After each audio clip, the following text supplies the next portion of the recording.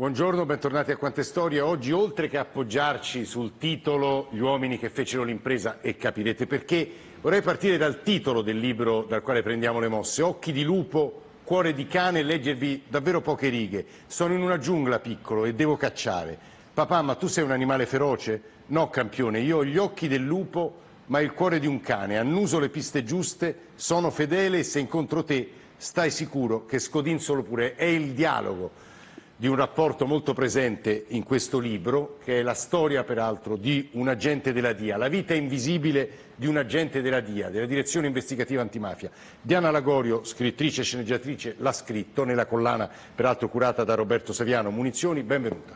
Grazie a voi. E abbiamo anche il privilegio di avere con noi nei nostri studi il direttore della DIA, della Direzione Investigativa Antimafia, che ha passato diversi anni, anzi gli anni chiave in Sicilia come giovane poliziotto tra l'89 e il 93 e poi ha avuto una serie di incarichi, ha lavorato anche insomma, contro il clan dei Casalesi, se la parola contro è corretta, ma insomma credo di sì.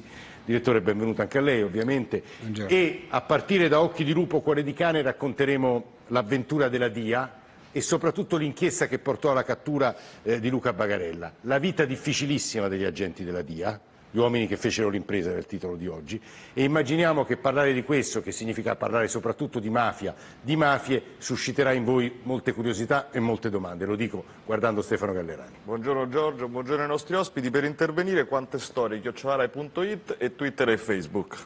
È un libro che entra dentro la vita degli agenti della DIA, però vorremmo partire dal presente o dal recentissimo presente. La giornata eh, dedicata alla memoria delle vittime delle mafie tra Milano e Casal di Principe dove è andato il nostro Presidente Mattarella. Qui facciamo vedere le parole di Don Ciotti e poi un ritaglio di giornale con una dichiarazione del Presidente significativa.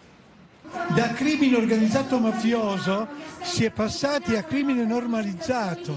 Nella testa della gente è una delle tante cose, ma non può essere una delle tante cose l'usura il traffico delle sostanze stupefacenti, il traffico degli esseri umani, le ecomafie, l'agromafie, il gioco d'azzardo, non possono essere una delle tante cose.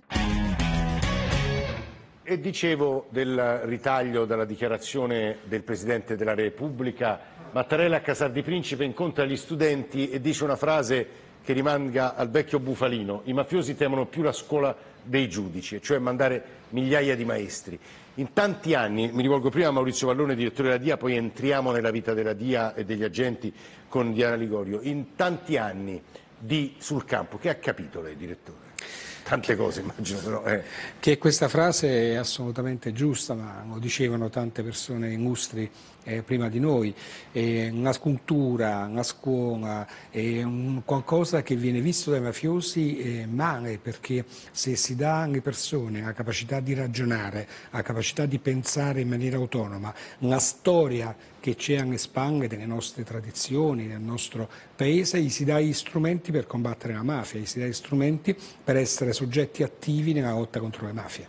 Tra l'altro il direttore Vallone ha conosciuto Giovanni Falcone, poi lo, lo vedremo, e che immagino avesse anche un'idea del genere, no? oltre ad avere straordinarie intuizioni, ma insomma sia che Giovanni Falcone sia Paolo Borsellino, ma tutti i magistrati del PUN antimafia di quel periodo andavano frequentemente nelle scuole a incontrare gli studenti, nelle università, perché ritenevano che fosse un momento fondamentale di crescita di questi ragazzi, fargli conoscere la realtà delle mafie che ancora non era conosciuta come lo è oggi dopo le stragi e dopo tanto lavoro fatto dall'antimafia, fargli conoscere quella realtà e fargli e dare quegli stimoli, quegli strumenti per poter essere loro protagonisti della lotta alla mafia, perché i giudici non bastano da sole, le forze dell'ordine non bastano da sole. Diana Ligorio, entrare nella testa, nella vita, diciamolo subito, difficilissima di un agente. Ora mi dicevate una cosa anche eh, che capisco sia insomma, dolorosa, nel senso che il tasso di separazione tra chi fa l'agente della DIA, ma in generale insomma, il poliziotto e il carabiniere è più alto la, della media nazionale, perché sono vite difficilissime. Come è entrata in quelle vite? Allora, intanto io ho conosciuto personalmente eh, diversi agenti della DIA, eh, perché abbiamo realizzato in occasione del trentennale della direzione investigativa antimafia un film documentario che è andato in onda anche che tra Rai. Di cui tra l'altro vedremo adesso un estratto. E quindi ho avuto questa grande occasione e questo privilegio di entrare nelle loro storie. Poi per scrivere Occhi di lupo, cuore di cane eh, mi sono concentrata invece sulla storia di Palermo, eh, quindi all'indomani della strage di Capaci. E io con loro ho avuto degli incontri, dei colloqui, poi in particolare con alcuni che erano protagonisti di quegli anni dell'inchiesta di Palermo. E posso dire che si è stabilito una sorta di patto di fiducia tra di noi, nel senso che loro si sono sentiti che potevano in qualche modo aprirsi e io mi sono fidata anche un po' eh, dei loro ricordi e della, della loro voglia di raccontare. Come, Perché adesso sono uomini di 60 anni. Ora sono uomini di 60 anni, alcuni sono prossimi alla pensione, però la maggior parte di loro sono in pensione e stanno facendo i conti anche con il loro passato, un passato in realtà che per loro è come se fosse sempre presente, perché pur essendo stata una scelta di vita che ha eh, avuto un prezzo altissimo per la loro famiglia, no? per i loro affetti privati, in realtà rappresenta anche il periodo più vivo e più motivante della loro esistenza, è proprio il fondamento della loro persona. Infatti in un passaggio del libro, quando racconto in realtà il protagonista che è in pensione, lui dice chi sono io adesso, no? per una vita che io sono stato invisibile, adesso io chi sono? No? È un po' questa una cifra che a me ovviamente narrativamente mi sembrava estremamente interessante, che però fa capire qual è il prezzo che questi uomini hanno pagato. E devo dire anche che una domanda che ho fatto durante questi incontri era una domanda ovvia, no? cioè ne valsa la pena? E loro mi hanno risposto di sì. E quindi questo che eh, mi ha dato ancora più eh, stimolo eh, nel scrivere, nello scrivere questo romanzo, perché io ascoltando le loro storie ho avvertito proprio questa urgenza, un'urgenza dovevo fare qualcosa, nel mio caso voleva dire soltanto raccontare questa storia. Vediamo un frammento del documentario al quale faceva riferimento Diana Rigorio. Nelle ore successive alla cattura io ho assistito a una scena di un collega che ha offerto un panino al signor Bagarella Leoluca. E ricordo la risposta del signor Bagarella Leoluca. Io panino vostro non mangio, io non mangio un vostro panino. Nell'atto di offrire il panino noi abbiamo dato in quel momento l'immagine dello Stato, perché il nostro desiderio era proprio quello, confermare la forza dello Stato. E in tutto questo, nel raccontare queste cose, mi viene tanta nostalgia. Sono in dia dal 1992. Venni assegnata immediatamente dopo l'assassinio dei giudici Falcone e Morvillo e degli uomini della scorta. E mi sento ancora figlia della strage di Capaci, un evento che ha segnato il mio vissuto di investigatrice.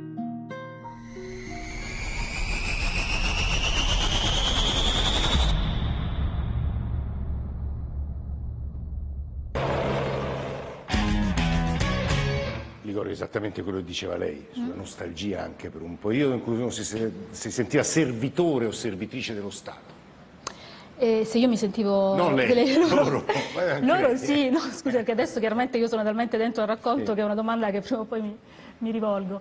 E loro sì, loro diciamo che ehm, la cosa me, più affascinante di questa missione che loro sentono è che loro personificano uno Stato nascosto, invisibile quindi il loro impegno nella missione della giustizia non è per un riconoscimento, per una medaglia, per una gloria, no, ma perché giustizia venga fatta. E questo, ehm, questo discorso che fa l'investigatore di Palermo del gesto del panino, eh, io l'ho trovato estremamente significativo. È vero. È vero, assolutamente vero, è significativo perché in quel momento, con quel gesto, lo Stato nascosto diventa visibile, cioè diventa visibile nel comportarsi correttamente anche certo. con chi è mafioso. Che poi, direttore, l'atteggiamento che aveva Rina, cioè io, voi siete altra cosa da me. Sì e soprattutto in questo gruppo stragista di Cosa Nostra, quello che poi ha portato all'effettuazione delle due grandi stragi e alle stragi continentali, perché non dimentichiamo che poi ci sono state le stragi di Via del Gergofi, di Milano, eh, di Roma, che hanno fatto tante vittime innocenti e tante altre ce ne sarebbero state se non fossero stati fermati, era una, un atteggiamento di antagonismo allo Stato, di porsi su uno stesso piano dello Stato, tant'è vero che nella trattativa, nella volontà di intrattenere una trattativa con lo Stato se loro fossero un antistato, come fossero un qualcosa che si poteva contrapporre allo Stato. Per fortuna le capacità investigative dei magistrati e delle forze dell'ordine in quegli anni, la capacità di tenere sanda quella che è stata la struttura del nostro Paese, una struttura eh, sociale e una, una, legislazione che ne è nata, una legislazione sì d'emergenza ma non straordinaria, ha consentito poi di contrastare con efficacia questo sistema. Dietro strutture come la vostra c'è poi soprattutto, ma non soltanto perché ora ascolteremo delle parole secondo me molto nobili, l'intelligenza di quest'uomo. Pensare che tutto dipenda esclusivamente da me significherebbe addossarmi, sarei prontissimo ad addossarmelo se fosse utile, ma non lo è. Tutta la responsabilità della lotta alla mafia, questo è sbagliato. Tutto questo è profondamente ingiusto nei confronti di colleghi, ma soprattutto dimostrerebbe il fallimento, perché sarebbe, e questa sì, una lotta di Don Chisciotte contro i mulini al vento di fronte a questa piovra invincibile che l'abbiamo creata noi, mentre siamo uomini come noi. Lei l'ha conosciuto, mi diceva poco fa, insomma, è un uomo particolare, no?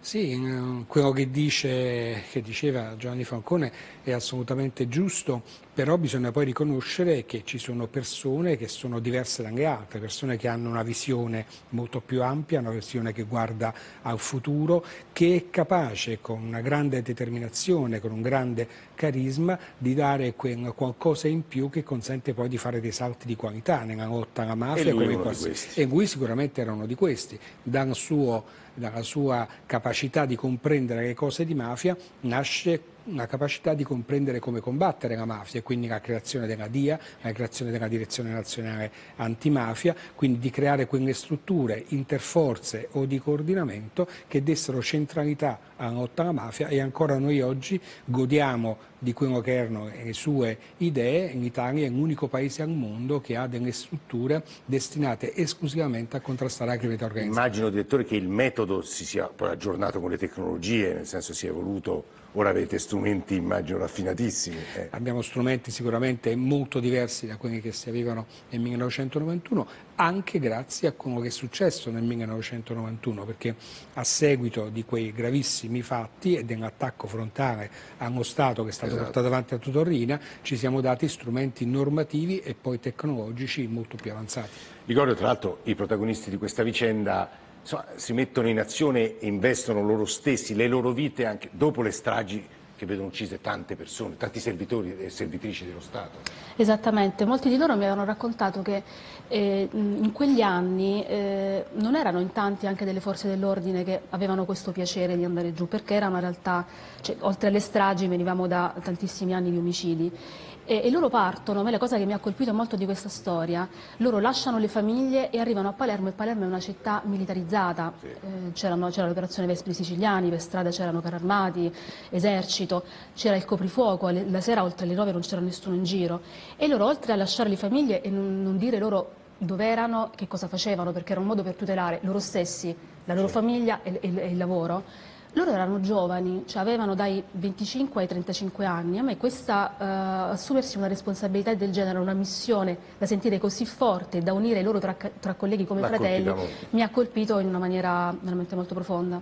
Ora vediamo un frammento del film di Marco Bellocchio, Il traditore, in cui vediamo eh, l'interrogatorio a Tommaso Buscetta, qui interpretato da Favino, ma in realtà ripetente le parole vere dell'interrogatorio. Dice una cosa sulla struttura della mafia che è molto interessante perché vorremmo capire se ancora oggi è così la struttura. La mafia non esiste, la mafia è un'invenzione giornalistica. Cosa nostra si chiama. Noi uomini d'onore la chiamiamo così.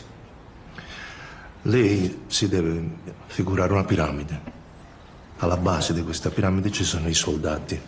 Io sono un soldato, sono un soldato semplice. E il soldato fa giuramento di fedeltà assoluta a Cosa Nostra per tutta la vita, non si esce da Cosa Nostra. Tre famiglie formano un mandamento con il suo capo mandamento. E al vertice di questa piramide, al punto più alto, c'è la commissione, con il suo capo commissione che viene eletto da tutti i soldati di tutte le famiglie. Io ho giurato fedeltà a Cosa Nostra, quella antica, più di 40 anni fa. Direttore, prima di cominciare questa trasmissione l'ho chiesto, ma è possibile che sia ancora così? Si vota?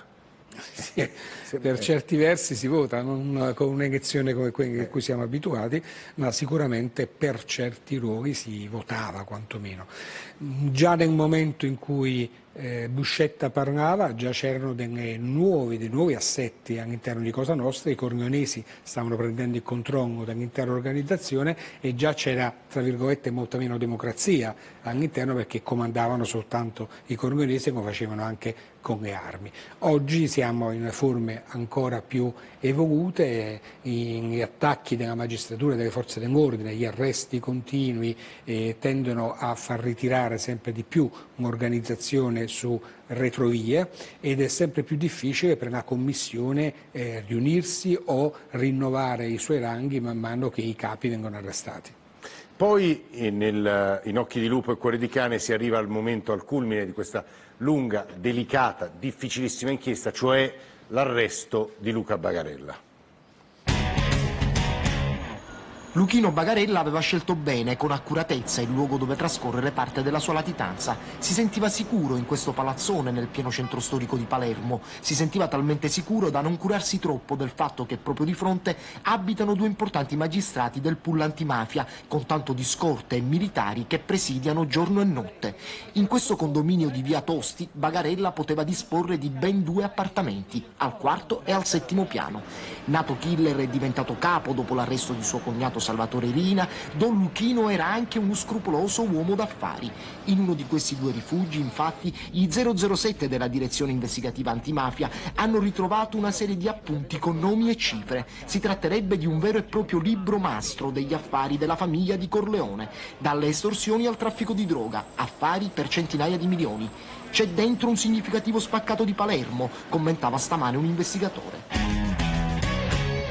E parliamo della Palermo del 95, eh, Diana Ligorio. Qui, nel libro, ovviamente il libro si sofferma molto su questi momenti e anche molto, se posso dire, colpisce molto, almeno ha colpito il sottoscritto, il pudore e però anche l'orgoglio e entrare dalla porta principale, uscire dalla porta principale, da quella secondaria, perché?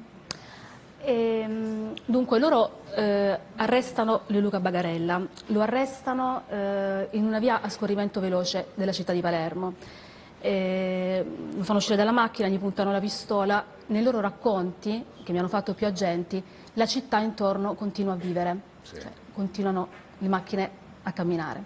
Lo caricano in macchina, non mettono la sirena, sì continuano a rispettare il codice della strada e si comunicano via radio, stiamo attenti in questo momento, noi non possiamo permetterci di fare uno sbaglio, un qualsiasi incidente, cioè l'operazione finisce nel momento in cui noi consegniamo il boss appena catturato al nostro dirigente. Il dirigente, era ovviamente contentissimo, invita gli agenti a uh, fare l'ingresso dal piazzale principale. Loro invece che cosa scelgono? Scelgono sempre l'ombra, scelgono sempre la loro struttura, la loro postura da investigatori, cioè entrano come sempre hanno fatto dal garage, dal retro, quindi fino all'ultimo eh, continuano a non volere la visibilità, le bandiere, i riflettori. Questo è un, diciamo, è, fa capire che per loro è proprio un modo di vivere, non è semplicemente certo. fare un lavoro. La vita invisibile, infatti lei la chiama. Stefano. Sì, Giorgio, abbiamo sentito, prima abbiamo ascoltato, visto e ascoltato Giovanni Falcone e Paolo si chiede, ci chiede se le grandi stragi e gli omicidi di Falcone e Borsellino siano state manifestazioni di potenza oppure di debolezza della mafia, mentre Andrea si, si chiede invece se qualcosa è cambiato e se è cambiato, se è cambiato in meglio rispetto a quegli eventi. Che dice, direttore? Ma ehm, omicidi di quel tipo hanno chiaramente tante sfaccettature, sono sicuramente manifestazioni di, di potere, cercavano di costringere lo Stato a scendere a patti eh, con loro, eh, ma sono si sono dimostrate poi alla fin fine una loro più grande debolezza, perché da lì eh, comincia la decadenza della, eh, dei cornionesi, da lì comincia la caccia eh, senza tregua a tutti i capi eh, di Cosa Nostra della fazione cornionese, ci sono voluti anni ma sono stati tutti quanti arrestati.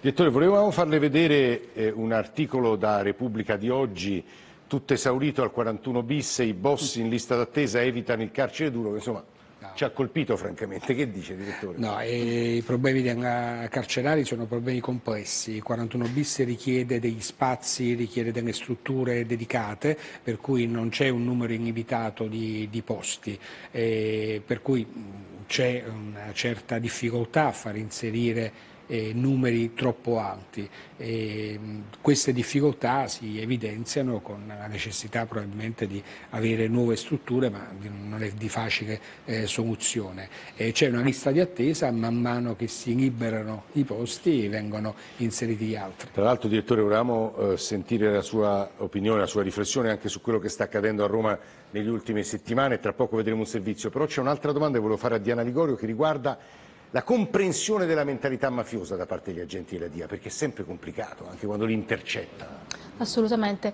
Loro fanno eh, un'operazione, eh, secondo me, straordinaria e dal punto di vista per me letterario estremamente affascinante. Cioè loro entrano nella mente del mafioso. In che modo? Intanto vivendo come vivono loro. Cioè gli agenti fanno la stessa vita dei certo. latitanti perché è l'unico modo per poterli catturare. E poi l'altro modo per entrare nella mente del, diciamo, del, dei boss e dei latitanti è ascoltare le intercettazioni, che può, può sembrare un'attività estremamente noiosa, però quello serve per, esattamente, per, conoscere esattamente la loro vita, aspettare il momento di debolezza, ehm, conoscere anche i pensieri da cui vengono mossi questi agenti. Una settimana per agenti. interpretare feci l'attentatuni. Esattamente. Cimmo, eh, vero un'attività estremamente stancante, eh, eh, però effettivamente una risorsa preziosissima e che non può essere sostituita in alcun modo. C'è da dire anche che in quegli anni, quando è stata messa la microspia nel covo di, di Leoghetti, eh, loro non, non, non, che non sapevano che c'era uno strumento così potente, però non si aspettavano che eh, gli investigatori fossero così bravi da poterla ah, piazzare ah, certo. lì, quindi loro parlavano in assoluta libertà. Esatto. Stiamo... Oggi, è completamente, Oggi è completamente diverso e tutti si aspettano di essere intercettati, quindi le difficoltà si complicano. No, non so se il direttore della DIA possa risponderci, non so, voglia risponderci, ma insomma che succede a Roma? Guardiamo queste immagini e poi questa è la domanda. La mappa dei delitti è nella Roma della periferia, si snoda tra Centocelle e Casal dei Pazzi, passa per l'Esquilino e scivola verso la Magliana. L'ipotesi sembra essere sempre la stessa, la conquista del mercato degli stupefacenti. Luigi Finizio, 51 anni precedenti per droga, era il fratello di Gerolamo, condannato due anni fa per tentato omicidio aggravato dal metodo mafioso e legato con il clan senese. Emanuele Costanza, lo chef dell'Esquilino, ucciso venerdì scorso in auto. In questo caso c'è un reo confesso stesso Fabio Giaccio, l'8 marzo è stato freddato in strada Mikhail Stefan Roman, muratore di 31 anni. La dinamica è la stessa dell'assassinio di Finizio, è stato avvicinato in strada da due persone in motorino, poi gli spari fatali. Anche Mikhail aveva piccoli precedenti per droga. E come non pensare alla morte di Francesco Vitale, il PR barese sequestrato e torturato in un appartamento alla Magliana e precipitato nel vuoto. In questo caso ci sono due persone in carcere, forse commise un delitto per droga che non aveva potuto pagare. Direttore, non so cosa possa dirci. Ma si può dire tanto, ormai sono anni che le mafie sono presenti su Roma, non soltanto la mafia la camorra napoletana, ma l'andrangheta calabrese, Cosa Nostra siciliana, con esponenti di spicco che hanno vissuto per tanti anni a Roma, ma Roma conosce da decenni a Banda della Maiana, a cui eh sì. oggi poi si aggiungono i clan del litorale, i rom, i clan rom stanziali ormai su Roma. Il traffico di stupefacenti è quello che muove tanti soldi, tantissimi soldi in una città immensa eh, come Roma dove c'è tantissima richiesta eh, di cocaina e di hashish. Ai clan nostrani sono subentrati adesso anche i clan albanesi che si fanno largo, si fanno spazio in questa città e quindi a volte si creano dei contrasti sul territorio. Tra l'altro mi permette di ricordare che la DIA pubblica semestralmente o annualmente? Semestralmente. Un rapporto che è utilissimo per capire quello che accade sul fronte della criminalità organizzata nel nostro Paese Paese. È venerdì, Arnaldo Conasalti, come sapete, ci parla eh, di romanzi che meritano la nostra e speriamo la vostra attenzione. Eccolo. Il Dio disarmato di Andrea Pomella è un romanzo dedicato a Via Fani, alla strage e al rapimento di Aldo Moro. Ma non è un libro di storia o di istruttoria, è un romanzo, è un romanzo che vuole parlare di una cosa precisa, quei tre minuti, i tre minuti della strage che sono narrati dai vari punti di vista, quello di Aldo Moro, quello dello scrittore, quello di un testimone, di tutti in fondo. E questi tre minuti corrispondono ai tre secondi che ha sempre il carnefice quando sta per attaccare la vittima. Questo tre minuti e secondi. E questo indica in fondo la paura come condizione del romanzo, come condizione del racconto. Ecco, la paura è in fondo la vergogna. Noi abbiamo avuto anni di terrorismo che ci hanno dato una paura terribile a noi come società, ma abbiamo avuto anche quegli anni della mafia, forse ce l'abbiamo ancora, in cui la paura è la vergogna di non saper cosa fare. La vergogna quando uccisero il piccolo Claudio durante il maxi processo degli anni Ottanta, la vergogna che troviamo nel libro di Pomella di il giornalista che gira per cercare di capire qualcosa e non capisce davanti a quella strage, o lo scrittore che torna tanti anni dopo per scrivere questo romanzo a Via Fani e descrive quello che vede. Allora che cos'è la paura? La paura è polverizzare il tempo, è rompere le parti del tutto e il finale del romanzo ci dà un'indicazione precisa di questa paura sociale che è stata che è stato il terrorismo, che è stata in qualche modo la mafia. Quando un testimone vede in lontananza al mattino i cinghiali, un fenomeno, ahimè, molto consueto nella nostra città. E questi cinghiali corrono e hanno il movimento dei corpi che cadono, quelli di tanti anni prima. La paura è quel rumore fosco di quei cinghiali che sono ancora nella nostra anima di cittadini.